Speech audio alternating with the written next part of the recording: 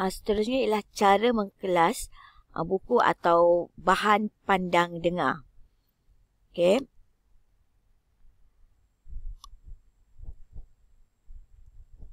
Okey, kita tentukan perkara buku. Perkara itu sendiri, jadual kandungan, pendahuluan, ciri istimewa, teks, tajuk, maklumat daripada punca lain atau sumber lain, kita rujuk pada buku rujukan atau pakar. Okey, yang kedua ialah pilih nombor pengkelasan. Tentukan bidang atau kelas ilmu. Cari bahagian yang sesuai. Pilih nombor yang paling tepat.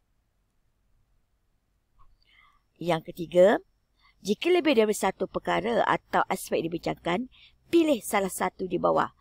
Pilih nombor merangkumi semua atau pilih perkara yang paling sesuai yang mencerminkan tujuan penulis apa untuk menulis buku tersebut.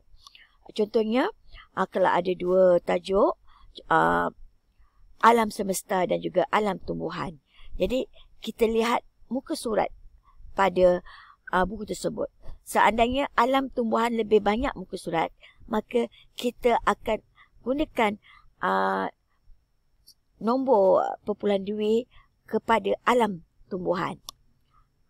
Tetapi seandainya muka suratnya sama, okay, kita uh, ambil yang terdahulu iaitu alam semesta. Iaitu jika ada dua perkara yang sama ya, pilih yang terdahulu. Seterusnya secara umum, pilih nombor yang difikirkan sesuai dan yang akan dicari oleh ramai pengguna. Berikan alasan anda kenapa kita uh, pilih nombor tersebut. Okey, bagi mengkelas bahan-bahan khas, seperti fiksyen, buku-buku mudah dan cerita pendek. Biasanya mereka tiada nombor perpuluhan. Jadi kita letakkan uh, label eh, label kepada buku kita wujudkan uh, pengkelasan pada buku tersebut. Jadi uh, ianya tiada nombor, label buku dengan huruf ganti nombor. Contohnya fiction. Uh, contohnya buku cerita. Uh, kita jadikan buku-buku cerita dalam bentuk F. Ya. Bacaan permulaan BP. Okey, dan ianya diasingkan daripada rak uh, sistem bulan duit ya. Daripada 000 kepada uh, hingga 900 uh, kita asingkan daripada fiction dan bacaan permulaan. Sebab ia adalah buku khas. Buku-buku rujukan kita meletakkan simbol R. Ha, kita lihat pada contoh label ini, R adalah rujukan 030 COM adalah tajuk buku. Jadi um, kita tidak meletakkan uh, nama eh kerana buku ini tidak mempunyai nama pengarang. Kita ambil pada tiga huruf pertama pada judul buku tersebut. Nombor panggilan bagi buku rujukan. Okay, R adalah singkatan untuk rujukan. 599 AHM, singkatan nama pengarang atau judul bahan atau tajuk buku uh, yang ada kita ambil tiga huruf terawal. Ini dikenali sebagai nombor pengkelasan eh 599.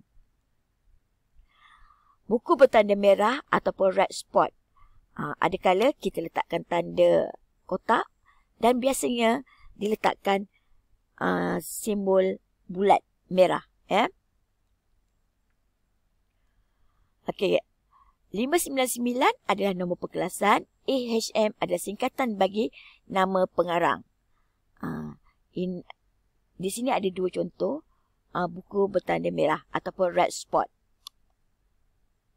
Iaitu dalam bentuk empat segi dan juga bulatan. Bagi bahan-bahan khas buku bersiri, diasingkan dan diletakkan di bawah nombor pengkelasan masing-masing. Okey. Ha, risalah pula dikumpulkan dan diletakkan dalam kotak risalah. Ikut tajuk perkara masing-masing. Contohnya, risalah itu adalah tentang cuti-cuti di Malaysia. Jadi kita dapat risalah uh, tentang negeri Johor, negeri Pahang, negeri Melaka. Jadi risalah-risalah itu kita kumpulkan dan kita letak dalam satu kotak dan kita tuliskan di situ uh, percutian di Malaysia. Ha, itu kita ikutkan tajuk perkara. Jadi dalam percutian Malaysia itu kita lihat pada tempat-tempat percutian di negara Malaysia. Bagi ensiklopedia pula, letakkan di bawah satu nombor pengkelasan uh, umum iaitu 030. Contoh, terdapat eh, uh, banyak uh, volume daripada Oxford Junior Encyclopedia. Jadi ada volume 1, 2, 3, 4, 5, 6 dan setiap jilid diberikan nombor 030. Sebab dia uh, dibekalkan dalam satu kumpulan uh, ensiklopedia. Jadi tak perlulah kita tengok volume 1 Mankind Natural History volume 2 kita asing-asingkan. Kita tetap letakkan mereka dalam satu uh, kotak yang dibekalkan oleh pembekal eh bermakna memang mereka dalam satu kumpulan. Jadi kita letakkan setiap jilid diberi dengan nombor 030. Jadi peraturan ditentukan oleh pusat sumber sendiri, mestilah logik, mudah penggunaan, selaras dengan pusat sumber sekolah. Segala perubahan maklumat perlulah ditulis dalam fail kuasa. Jadi cikgu ya, cikgu jangan risau eh tentang perkelasan ini. Kebanyakan perkelasan ini telah diberi bantuan oleh Perpustakaan Negara di mana semua buku-buku yang telah didaftarkan di bawah uh, PNM eh, Pusaka Negara Malaysia ada pengkatalogannya. Jadi semua maklumat dan sumber uh, daripada setiap buku cikgu boleh rujuk dalam halaman verso. Kita belajar eh, tentang halaman verso di mana maklumat tersebut boleh kita ke uh, temui.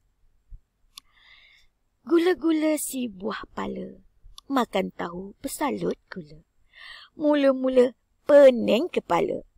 Bila dah tahu, seronok gila.